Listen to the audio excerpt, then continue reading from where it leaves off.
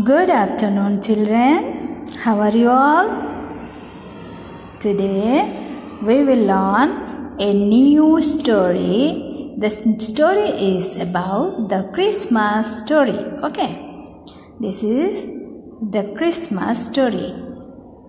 So take out your rhymes book, page number 64. Page number 64. So let's start how to do this story. Let's begin.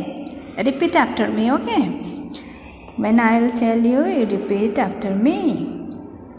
Long ago, angels were singing in the sky. Again, long ago, angels were singing in the sky. They told shepherds that baby Jesus was born in a stable. They told shepherds that baby Jesus was born in a stable. The shepherds found baby Jesus with Mary and Joseph. The shepherds found baby Jesus with Mary and Joseph. It was a cold night.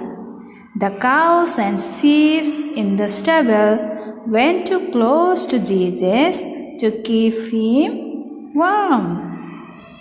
It was a cold night. The cows and the sheep in the stable went close to Jesus to keep him warm. So, children, you practice at home with this video. Okay? Thank you. May God bless you.